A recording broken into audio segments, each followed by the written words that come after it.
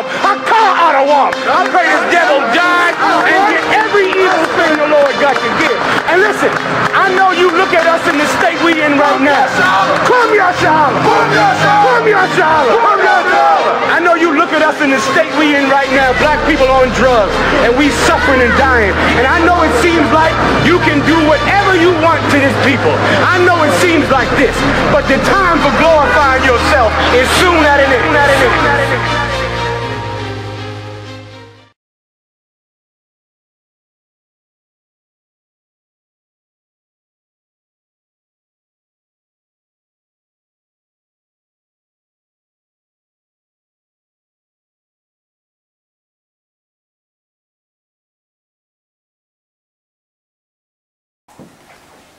Yeah, you tuned in live with the Hebrew Speak Live on WPEB 80.1 FM. You tuned in to the priest and prophet, the Power, the Hour in Hebrew, from the Israelite School of Universal Practical Knowledge.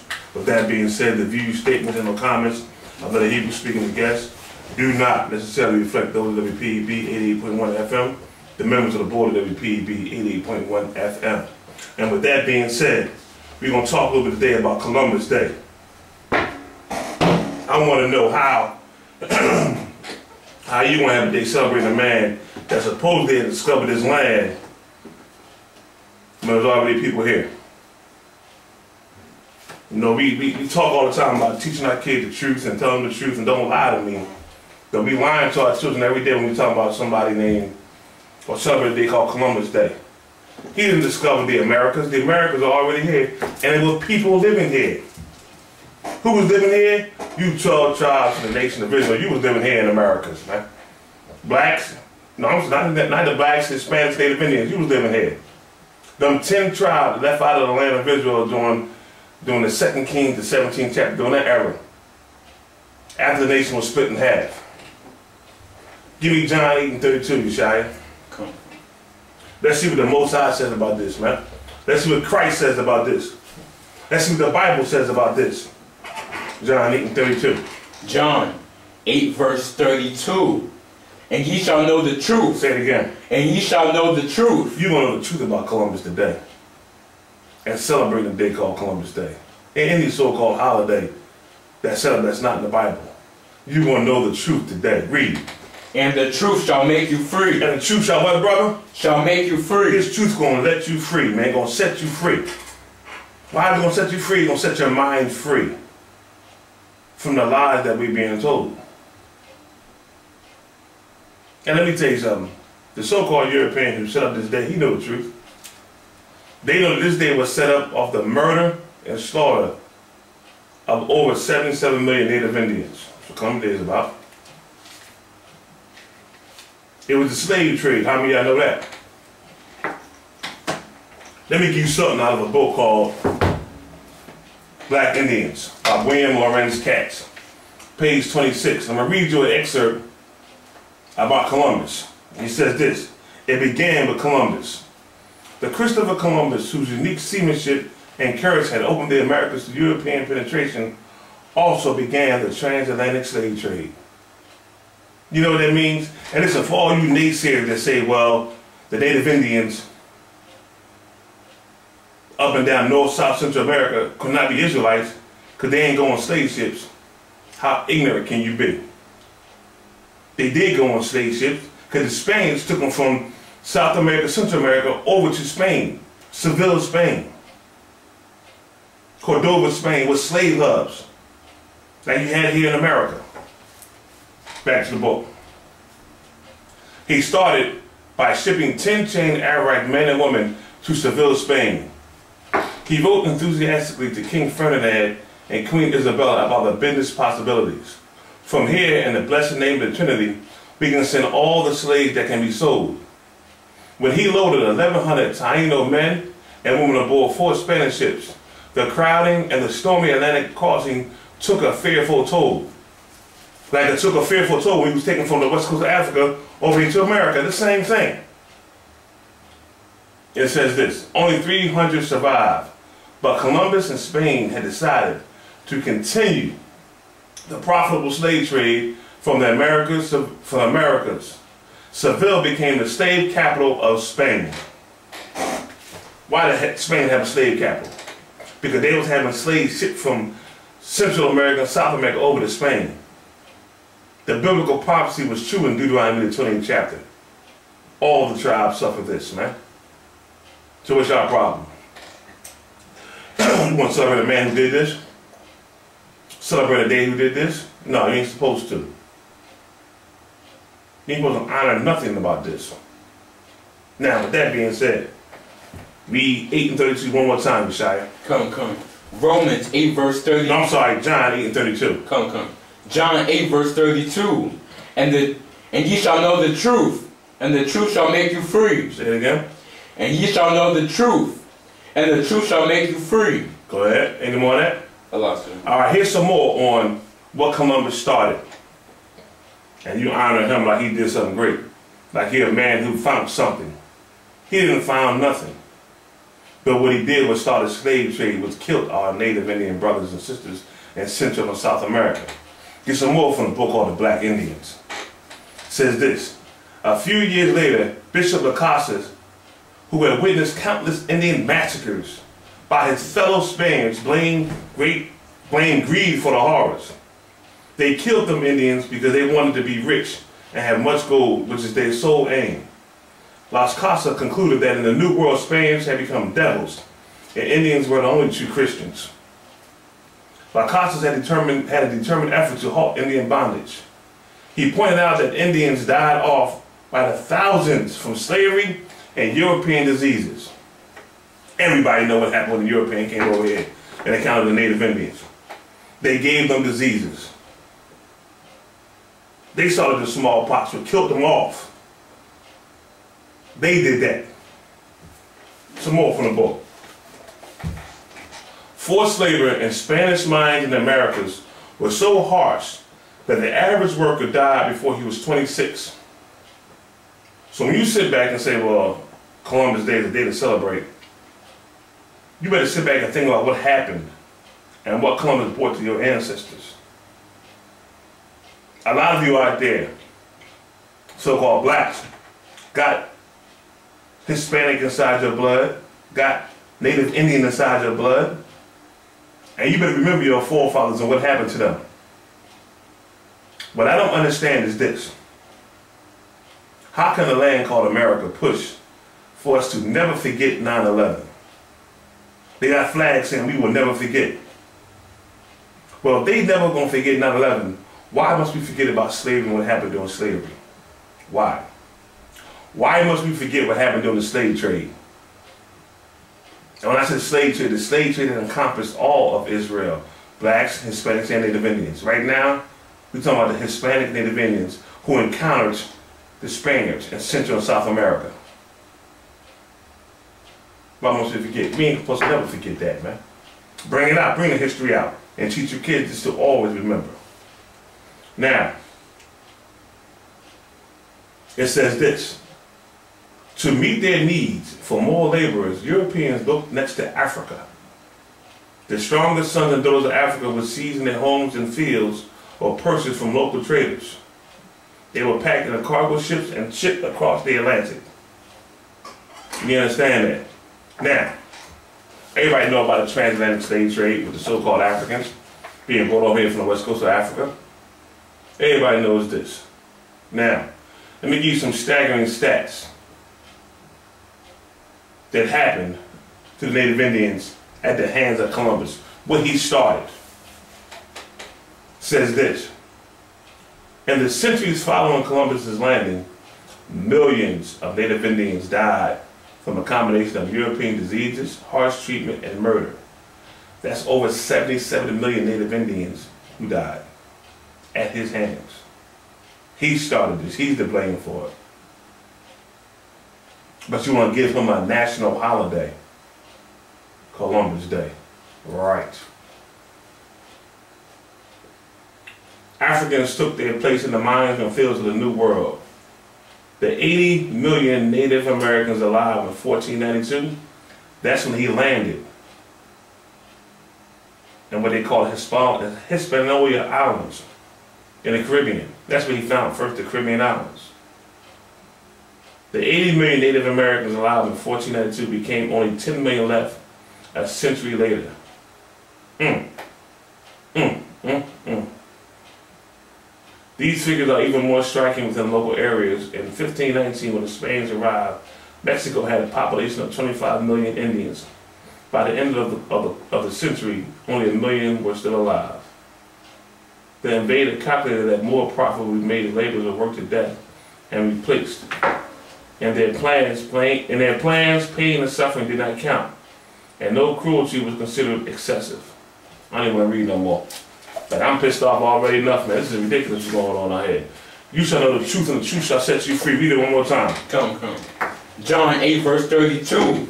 And ye shall know the truth, and the truth shall make you free. You will know the truth of what this day really is about. Do I read more of what Columbus really did? What he started? No, I shouldn't. That was out of a book called The Black Indians by William Loren Katz. That's who wrote that book.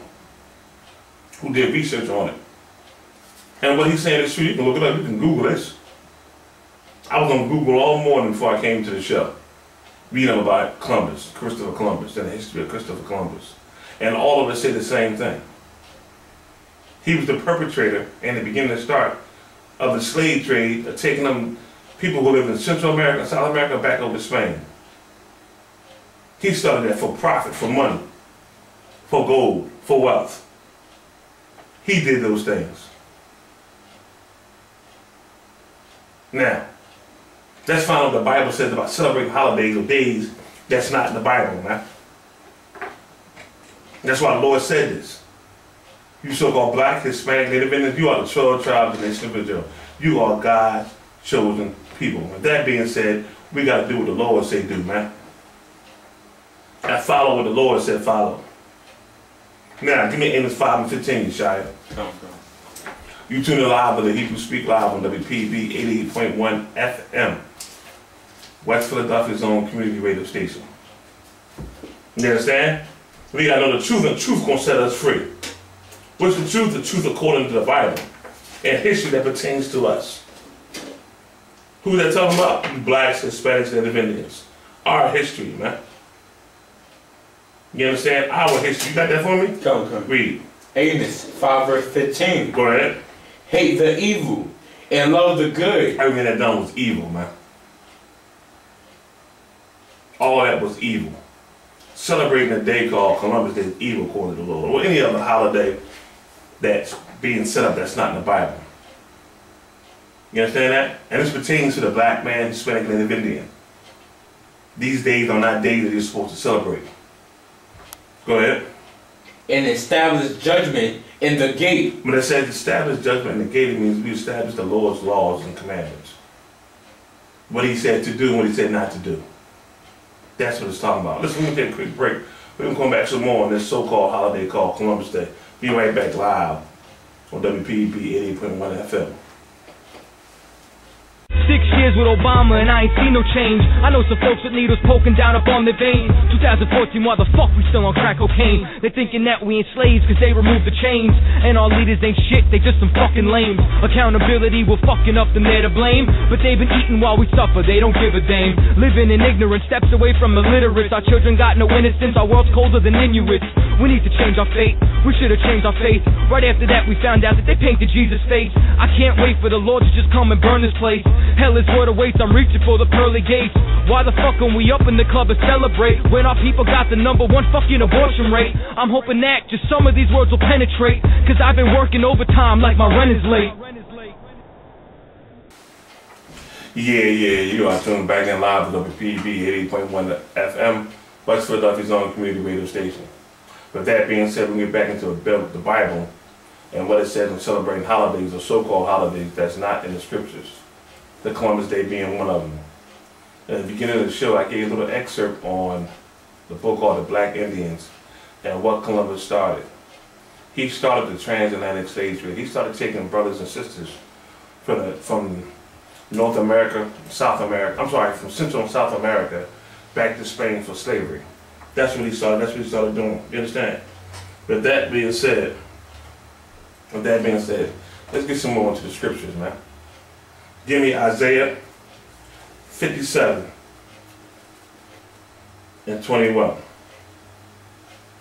Remember, the Lord said this when He hate our, our, our so-called new feast days, our so-called new holidays. This right here pertains to you blacks, Hispanics, Native Indians. This is for you. The Bible is a record, is a historical record on how we're supposed to live our lives, how we're supposed to be. That's what the Bible's about. You understand? On how we're supposed to live our lives and how we're supposed to be. But that being said, let's see what the Lord says about these so-called holidays, this day called Columbus Day that you celebrate today. Or any other so-called holiday that's not in the Bible. Read. Isaiah 57 verse 21. Go ahead. There is no peace, saith my God, to the wicked. Say it again. There is no peace, saith my God, to the wicked. The Lord said not have no peace for being wicked. What's wicked? Celebrating the day that the Lord said not to celebrate. Instead of honoring Columbus Day, we should have been honoring the Day of Atonement, the Feast of Tabernacles, the Memorial blowing of trumpets. Those are high holy days found in the book of Leviticus, the 23rd chapter, that we were supposed to be honoring those days. And because we haven't, and we honoring, we honoring Columbus Day, look and see what's going on in our neighborhoods. Look and see how we're living out here today. Because the Lord says, woe and destruction to the wicked ones who do this. Now, give me 1 Corinthians, the 10th chapter, verse 20 and 21. That's why the Lord said for us to separate ourselves. You understand? Separate ourselves. I mean, take your spirit and your mind out of the society that's been built today. All the witchcraft being pushed on our people today. From TV to radio, all those things, man. But focus on the truth according to the Lord and what the Bible says. And the Lord says for them 12 tribes to separate themselves. And here's the, here's the point, uh, Yeshaya. Every nation else is doing it. They living in separate neighborhoods, building their own communities up. I don't see no black businesses in these neighborhoods. And let me just modify one thing for you, make it clear for you. If you see a Spanish store in your neighborhood or a Hispanic store in your neighborhood, they are your brothers. We all made up the 12 tribes and nation of Israel, Hispanics, Indians, and black people. But you don't see them stores in the other neighborhoods. I don't see no no brother having a store in an African neighborhood. I don't see it. But I see their stores in our neighborhoods. I don't see no black owned business stores in Chinatown, in the main line, anywhere in the suburbs. I don't see it. But I see their stores in our neighborhoods. Why? Because we ain't together the way the Lord said for to be. Now, give me 1 Corinthians 10, verse 20. Come, come. 1 Corinthians 10 verse 20. Go ahead. But I say that the things which the Gentiles sacrifice, Go ahead. they sacrifice to devils. They sacrifice to who, brother? To devils. To devils, to things that deceive you. Let me tell you something to you. In the Israelite school, you know what's a practical knowledge. If you hear us call somebody a devil, we are not saying that somebody with a red horn and, I mean, a red pitchfork and horns coming out of his head. We're not saying that. But what we are saying is that they are lying to you have been known to lie to you and are continuing to lie to you. Mm, excuse me, that's what we mean. You understand that? That's what a devil, a devil is a deceiver. Someone who lies to you. That's what a devil is, a deceiver. Do you understand that? Read it again from the top. 1 Corinthians 10 verse 21, sorry, verse 20. But I say that the things which Gentiles sacrifice, they sacrifice to devils, Go ahead. and not to God, And not to who? and not to And God. not to the Most High. You understand that? By you celebrating any other so-called holiday, that means you're not doing the things the Lord say do. And you giving yourself over to things that don't pertain to the Lord. You find me this day called Columbus Day in the Bible. Find it. Show it to me. You don't have to celebrate Columbus Day. You ain't got to. You ain't got to honor this day. It's your choice.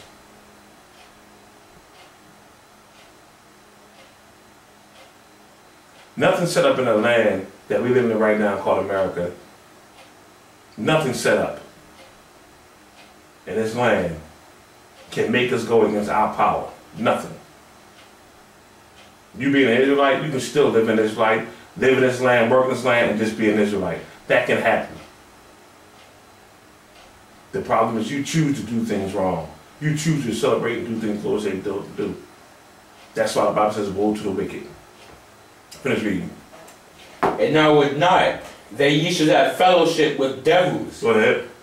You cannot drink the cup of the Lord and the cup of devils. You can't be down with the Most High and say, okay, I love the Lord, but I'm going to celebrate this day called Columbus Day or any other so-called holiday. You can't do it, man. You can't do both. Go ahead.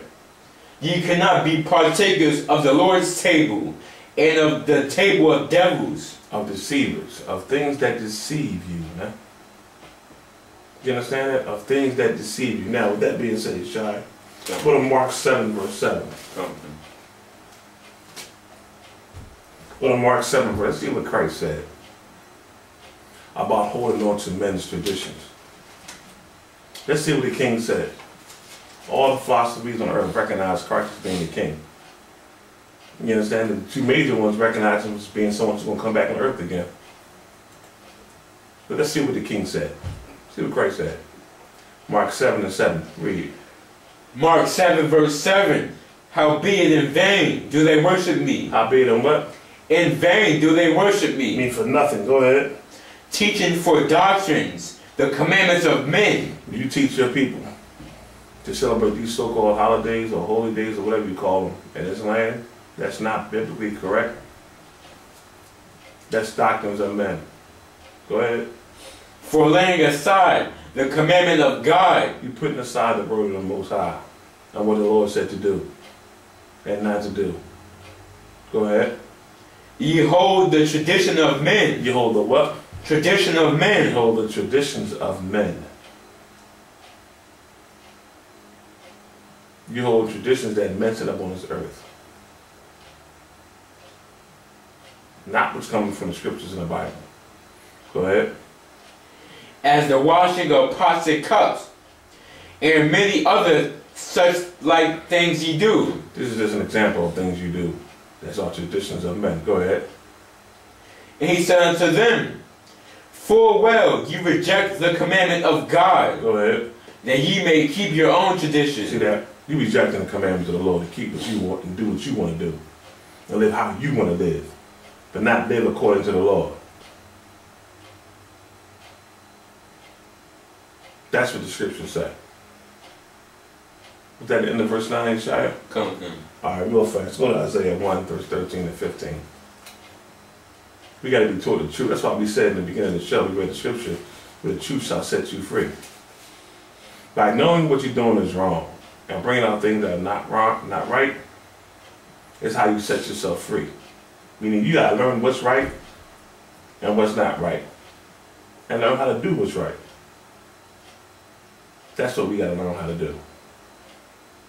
Those things there. You got it for me out? Come, come. Read. Isaiah chapter 1 verse 13. Bring no more vain oblations. Incense is an abomination unto me. Go ahead. The new moons and Sabbath. The calling of assemblies. I cannot away with. Let me that's talking about celebrating things the Lord said celebrate. Like I said, these so-called holidays that got in this land. Let me tell you something. A lot of people say, well, the Bible is back then, it don't matter. But let me say something to you. This Bible is real and it does matter today. There are laws and commandments in here that we're supposed to live to this day, even now. There ain't no such thing as that was back then. Or they done away with. No, who said that? Who lied on the scriptures and said that? There are things in here that we are still supposed to be following. And the laws the Lord said on not following so-called holidays or so-called things that other nations follow are still applied to the black, Hispanic, Native Indian. Why are we the ones who are not following these, the laws of the Lord, but we the ones having so much horrible things happen to us. Number one in death, diseases, horrible living conditions, and we never wanted that. We number one. But be following everybody else's customs and ways. You don't see the problem with that? You see how wrong we live? It's time for a change. That change gotta come from the Lord. We can't have no more hypocrisy. They gotta be straight one way, and that's the Lord's way. Now following that straight one way, you gotta follow the men of the Lord for it to be that way. Read. It is iniquity, even the solemn meeting, mm-hmm. your new moons, and your appointed feasts, my soul hateth. See that, right?